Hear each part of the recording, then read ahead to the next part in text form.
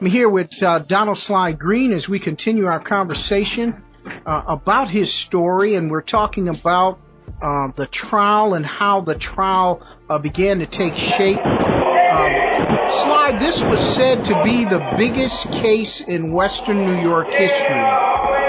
Do you feel that you you were just being tried in the media, that there was just too much hype for you to win or get a proper defense? I feel that not only was it too much hype, but that the government influenced the witnesses to lie. The witnesses was willing to say and do anything in order to get themselves off. There was co-defendants on the case. Some of them I had never seen or met before, and the government will threaten to take your kids away from you. Uh, the government will tell you what to say, tell you how to say it. You know, practice it with you so that you'll be able to say it in a way to convince the jury that you're telling the truth. It may have been the biggest trial in the history of the city or in the Western District of New York to them, but it was the biggest hype to me. Mm. Because the things that went on in that trial was unbelievable. Mm. And the government, they'll do anything, Pat, to win a case. Mm-hmm. I don't care what it is. They'll threaten to take your kids away from you. They'll threaten to put you in jail for long periods of time. You know, like the government, they sent word to one of the lawyers to inform me that, well, inform uh, Mr. Green that if he come over on our side, we'll make him a star. I said, I don't want to be a star in the way that you're talking about making me a star. I have no intentions on testifying against anybody to get myself out of anything or making life harder for somebody else just because I want to get out of the situation that I'm unfortunately in at the time that I was in it. I said, I'm going to trial. And I told the lawyers on the case, I don't want the lawyers to bring me that type of information again from the U.S. attorneys telling me that they could do this. I didn't want to hear it, mm. you know, so I proceeded right to trial. Mm. In other words, no matter how big the trial was, no matter what was going to happen, I was going to stand up to the very end. Mm. And I was not going to sacrifice anybody or put anybody under the bus or lie and fabricate anything against anybody. I was not going to do that on the state case when I went to trial, and I definitely was not going to do that on the federal case when I went to trial because that's not how I was raised in the streets, you know? Sly, let, let, how, let, me ask you this. Um, while all of this was going on around you, how were you feeling, knowing what you were up against. What what were your thoughts? I mean, what, okay, what well, were you thinking in regards to yourself? But I know most importantly your family. What what were you thinking? Okay, well, I had I had just got 25 to life for the uh, state of New York. Now, uh, as I'm going through the trial and I get convicted, I'm thinking like, well, yo, I got, I just got convicted. They getting ready to sentence me. They sentenced me to four life terms and 110 years. That's five life terms and 135 years running wild, running crazy. And what's running through my mind is that I'm saying to myself that it's over with for me. You know, I might as well commit suicide or something like that. This is what I'm saying to myself, but I know I'm not going to commit suicide. I know I'm just going to stand up learn much as I can about the law, try to learn much as I can about the law to try to get my, myself out the situation. At the time, I got two little boys and a daughter. And, you know, I'm thinking like, damn, I can't be there for them now. You know? Now, I could have put myself in a situation whereas if I wanted to lie and fabricate like the witnesses done against me to be with them, but I just couldn't see myself doing that, Pat. You mm. know, their mothers was just gonna have to raise them, and I was just gonna have to see them in the way that I done seen them over the years. You know, if I had to try to become a rat or a snitch or something like that, that I was not gonna become. Mm-hmm. You know, and it's running through my mind like I got these three little babies, and man, it's hurting, it's killing me, man. But I know I got to stand to the end, man. I got to stand up. Mm-hmm. You know, and their mothers, you know, they looking at me. They not telling me to roll over or do this or do that because I'm not going to do it anyway. Then I got my mother. My mother is worrying. My family is worrying. You know, my brothers and all of them. You know, but my main objective, Pat, I got to be honest with you, man. My main objective is I'm going all the way through. I'm not copping out. I'm not asking for mercy or none of that. I'm just gonna stand up all the way through the whole thing. And now those are the type of things that's running through my mind. And another thing that's running through my mind is that I'll never ever see the streets again. Mm. Another thing that's running through my mind is that I'm all in. They done took me down with lies. They done took me down with, you know, with, with paid testimony. You know, they lining up to testify to get themselves off a situation. But I know I'm up against all this, Pat, and I see all this. But I'm still gonna stand to the very end mm. because that's how I was bred from the streets, man. That's how I came up. I'm standing up to the end. Now somebody would say that, mm-hmm. yo, this guy's crazy. This guy's a fool. To them, I may be that, but to me, I was being the man that I am because right. that's just how I was raised in life, man. To stand up on my own and don't blame nothing on nobody else. Don't take my burden, my situation, and put it on somebody else. Mm. That's how I was. That's how I seen it, Pat. All right. Uh, Sly, how many co-defendants were there in total? I had uh, 32 co-defendants on the case, mm-hmm. and nine of them testified. Nine out of 32, nine testified, and uh, some of them went in, like I said, some of them went into the federal witness protection program. But the whole thing of the case was to take me down. They mm-hmm. didn't care how they took me down, Pat. They didn't care whether they lied. They didn't care what they had to do. This is the federal government. They'll take, they'll arrest your grandmother. They'll arrest your mother. They'll arrest your sisters and brothers. They'll take the babies and put them in foster care. If they want you bad enough, they'll do anything within their power to take you down. They don't care if you're innocent or not, Pat. That's what they do. This is the federal government, man. Hmm. And this is what they done to me. They've done any and everything they can to take me down. They didn't care if I was innocent of most of those charges or not. We taking this guy Sly Green down. Mm. And that's what they done, man. Mm. And and I'm saying to myself, you take me down, I'm standing up to the very end. Mm. And that's how I had that's how I seen it, Pat. Mm. Sly, let you me a- let me ask you this. Uh, you told me you're you're writing a book. Uh, yes. What is the goal of your book, and uh, when do we look to see uh, when it comes out? The book should be out uh, this year, probably around September or October of this year, and the name of the book is called Diaries of a Jailhouse Lawyer, Volume One. There's a Volume One, there's a Volume Two, and there's a Volume Three, and the book is based on me coming into the federal to state prison system with five life terms and 135 years and not sitting around in the prisons watching TV, not sitting around in the not sitting around in the prisons playing basketball or playing cards, but coming into the system, going straight to the law library and trying to untangle this five life terms and 135 years. And inside the book, it tells the younger guys and the youth, you don't want to be like Sly Green because Sly Green was serving five life terms in 135 years. So you don't want to grow up admiring, emulating, being like this guy that they talk about, Sly Green. Because Sly Green don't want to be the type of guy that they labeled him as being. And Sly Green is not that type of guy that they labeled him as being. And Sly Green is not trying to be in prison for five life terms and 135 years. So for all the younger guys, the book tells you when you co- when you go to trial, you stand up at trial. When you come to federal state prisons, now you got to stand up against inmates. Okay, you stood up in the public, now you got to come here and stand up. Now you got to fight your way through these guys. Now you got to show these guys that you're not soft. Now you got to go through a whole different type of initiation in order for you to survive in these type of prisons. So you don't want to be like Sly Green because if you be like Sly Green, then the feds in the state will do the same thing to you that they done to Sly Green. Mm. So the best thing I would say for the youth in the book, as I say, is that, you know, turn the page to a different life. Mm-hmm. You know, go to school, educate yourself, do something constructive for yourself. And if you can stay out the streets, stay out the streets.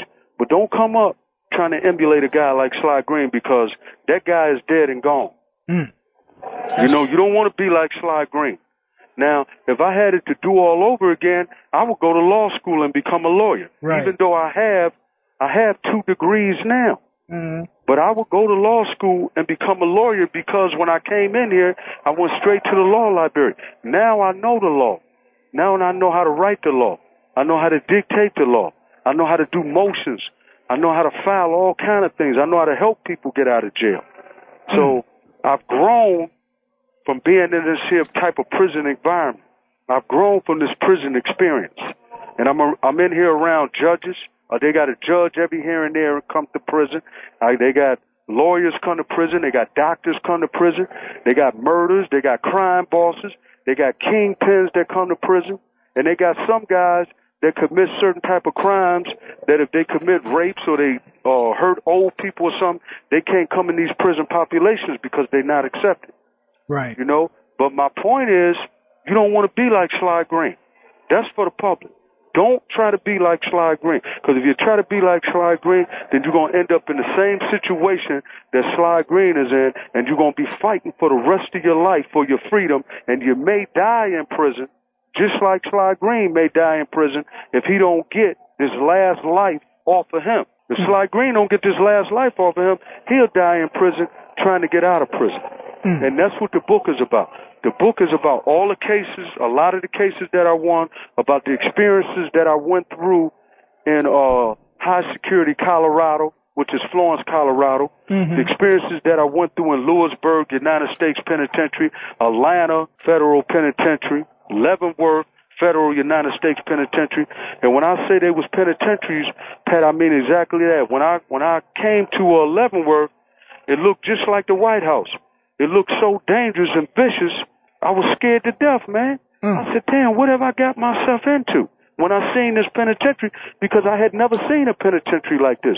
And then when I got inside the penitentiary, it looked like the morgue, like some people done died in the basement of the penitentiary. And so I'm even more afraid. I'm shivering now. Mm. And I'm like, damn, what is this? Then when I get upstairs and I get into the areas, they got 80 cells long. The cells is 80 cells long. You can't even see at the end of the cells. Mm. So I'm like, damn. And then all of a sudden, when I go to the mess hall, the mess hall is so big, it looked like the United Nations. You got Indians there, you got blacks there, you got whites there, you got Mexicans there, you got all the different gangs throughout the United States in this one penitentiary. You got like 34 different gangs there. You got crime bosses there. You got gangsters. You got killers. You got murder. You got a whole lot of Sly Greens in there. Mm. You see what I'm saying? So don't look at Sly Green like he's some tough guy or he was some crime. But that's not the case because I was none of that. And they got somebody for Sly Green as well, right in them prisons along with Sly Green. Mm-hmm. You know, they got many Sly Greens in them prisons that's never coming out of them prisons. Have any of the, these groups tried to recruit you based on the hyped reputation of Sly? Yeah, you know, yeah, they talk to me and stuff like that, but I don't pay them no attention when it come to that. A lot of them done said things to me, and you know, I could have been a you know a shot caller, or OG shot caller, triple OG, because mm. that's what they use and all that. But I don't get involved in things like that, Pat. Every day that I've been in prison, I've been in that law library. I go outside, I do two hours of physical workout, I come back and I spend the rest of my time in the law library. Whenever the prison get locked down for any type of disciplinary actions, I go straight to the law books in my cell. My whole objective is to one day be free. As you well know, uh, just from the hype that you experienced on how they tried to build a personality around you, that same personality is was being permeated before you left in the hip hop world of, of this gangster type image that a lot of our young people are beginning to follow that type of image in the street. What, what would be your message to them outside of, uh, continuing on what you've already said? My message would be to them is don't go for the hype.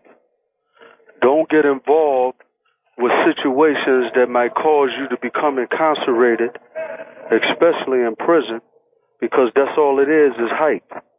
Uh, don't try to be like Sly Green. Don't uh, don't make songs and lyrics and everything about Sly Green because that guy is only an image that the federal government built up in order for them to win a trial. That's not me. The image that they built up as Sly Green being a gangster type of guy, a boss, crime boss, that guy's not that guy's not me. Mm. Sly Green is a guy that's in prison right now, suffering every day, trying to get himself out of prison. Sly Green is a guy that's looking towards the future for a better life if he can ever get out of prison. I don't see myself as being the type of guy that they should make lyrics about. I don't see myself as being the type of guy that's a uh, a gangster or anything like that because I'm none of that. It's just the image that the government built up. It's a fake image. It's an image that they portrayed. It's an image that they projected upon me in order to win a trial. Mm. And the things that's been said about me as being, you know, this this this this crime boss, this gangster, this this real fly and serious guy. That's not me. I just want to be very honest with you. That's not me. That's just something that was built up by the government to take me down. And no matter who you are, if the government come for you and they want to take you down, they don't care. They're going to take you down by any means necessary. Mm-hmm. Like I said, they don't care if they got to get your mother, your grandmother, if they got to take your kids from you, if they got to charge you with being a super kingpin, a racketeering boss, if they got to charge you with criminal enterprise, if they got to give you four conspiracies and one conspiracy and make you look bigger than life, like they done made Sly Green look bigger than life. But see, I'm not impressed with the hype. And I ask that the young kids not be impressed with the hype. I ask that the young kids not try to idolize me or emulate me because that's not me. The image that was built up about me, that's not me. That's just something that was built up in order for the government to win a trial. I'm not that type of guy. Mm-hmm. You know, I'm a guy in the law library every day trying to get my freedom. I'm a guy that's doing a life sentence and may die in prison all because of an image, all because of something that's been built up, all because of something that's been fantasized about me. And I'm saying this to you, Pat, because this is what's in the book as well, and I'm trying to tear that image down that the government done built up about me, that Mm-hmm. the public got about me, this the uh the monster they done created me into. Mm-hmm. You know, I'm I'm I'm just not that guy. Yeah. You know, I got I got two degrees. I, I work out every day. I do exercise every day. And one more thing for the young guys: when you come to these prisons, they need to remember that when they come to these prisons, for an example, in the federal penitentiaries that I'm in, when you come to these federal penitentiaries like Lewisburg, like Leavenworth, like High Security Colorado, you come into these federal prisons with guys from all over the world, not just from the United States, guys from all over the world. You got some of the most dangerous, vicious guys in these prisons, and all they do is self-destruct. All they do is kill, murder, stab, rape, sexually abuse each other, disrespect each other. They're not trying to uh, educate themselves. Some of them are. About 10% of them, out of 100%, 10% of them will try to educate themselves and strive to better their position in life so that upon or reentry back into society, they have some type of skills and, you know, they want to do something positive with their life. But the average one is just talking about more crime, how to be a more of a successful criminal. And that's not what I'm doing Mm-hmm. you know and, and and when you come to these prisons there's always the possibility that you may never make it out because a lot of guys get stabbed a lot of guys get murdered a lot of guys get raped a lot of guys get killed. Certain guys can't make it in these prisons. The environments that you're being subjected to is subhuman environments. You're being controlled through the conditions of how they feel that they want to control it in these prisons. So when you think about sly green you need to think about do I want to spend the rest of my life in prison? Mm. Do I want to uh, have to go to the law library every day and try to knock down five life terms and 135 years with the possibility that I may never ever be free again? When you think about Sly Green and these guys making these rap songs talking about Sly Green, which some of them I have heard, that's not me. I'm not that type of guy. I'm not no gangster. I'm not no crime boss. I'm just a guy that got caught up in a very unfortunate situation. And the situation got blowed up and got blowed out of hand. It's out of control. And now they done made me into this, uh, this legendary figure on the streets. And I'm none of that. And I Mhm. want the public to know that. I want the young guys that's going to school. I want y'all to know that Sly Green image is a fake. That's a fraud. That's something that the government built up to make me into. Mm-hmm. I'm not that. I'm not going to try to live up to it. Mm. And and if I had it my way right now, I would be out there talking to the youth, trying to explain to the guys in the little boys club or explain it to anybody that would listen to me that listen, man, I'm not about selling drugs. Some I have sold, but I've redeemed myself. You know what I'm saying? I'm not mm-hmm. about ordering no hits or kidnappings, extortion, or being a crime boss or something like that. I'm not into that. I was never into that in the beginning. It's been blowed up to be something that it never was. And I'm not going to stay in prison. And when people come see me, yo, that's such and such, that's such. No, I'm not living up to that image. Anybody that's been in these prisons will tell you that I'm not that type of guy. I'm a gentleman. I'm respectful. You know, I'm not a murderer. I'm not a killer. I'm not this this this bigger than life figure. That's just something that the government used to create an image to take me down. Mm-hmm. And I ask that the public look at me as being the gentleman that I am, and that's what the book is about. Mm-hmm. The book is about that, and they those young Pat, those young guys need to know, man, that when you come to these prisons, all they doing is stabbing, murder, and killing each other because all the vicious and dangerous guys is being piled into the high security prisons. Mm-hmm. I don't went through it. I know you got 34, 35 different gangs in one prison. They having gang wars. They murdering. They killing each other. Mm-hmm. They disrespecting each other.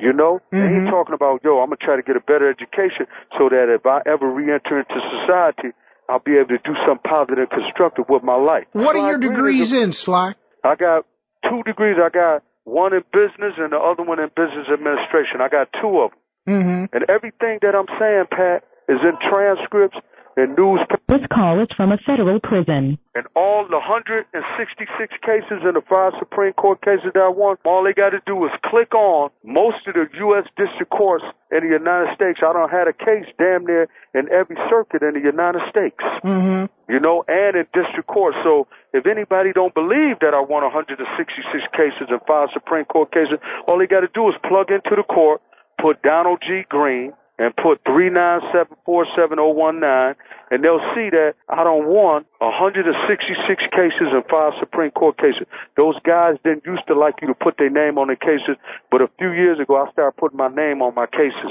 because I've been winning so many. And it's like a gift. I need to say this to you too, Pat. Mm-hmm. One day I had to get a filling in my tooth. Uh-huh. And so my tooth was, the guy, the dentist filled my tooth, but my tooth got poisoned poison came into my bloodstream. So I hit the floor. When I hit the floor, I went out. And so I'm walking, and I got people on this side and people on the other side because I'm walking this long, bright light. And an angel comes out of nowhere, and I can't describe how the angel looked. All I know is it was like a voice I never heard before, and there was a presence there. And as I'm walking in the straight line towards the light, it's a big bright light at the end and I got people hollering and screaming at me, and they below me, and they in dark, but I'm walking on this on this bright line, and they hollering and screaming about me about everything I ever done in life. Yeah, it is. Yeah, it is.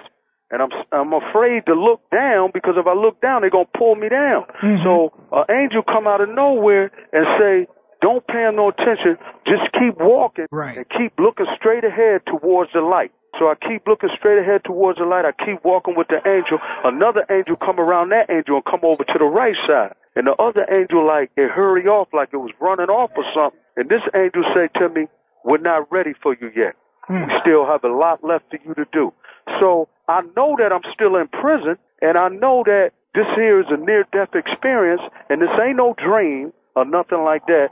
And so the, so I go to walk and I tell the angel, I said, no, I want to go because I know I'm in federal prison doing this life sentence and I don't want to come back.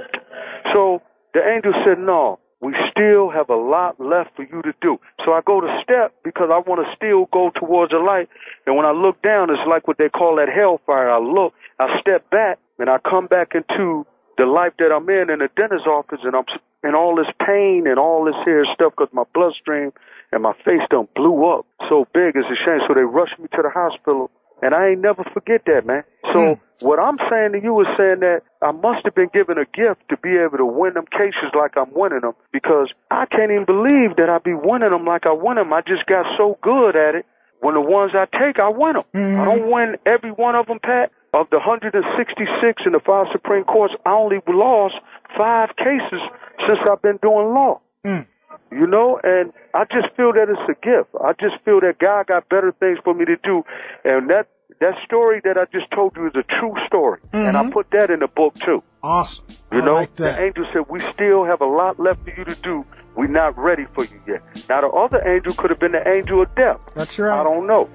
You know, That's right. That's, those are the type of things that I've been going through. This concludes the first part of the exclusive interview with Donald Sly Green here on a special edition of The Message. Donald Sly Green is taking an opportunity with us to tell his side of the story.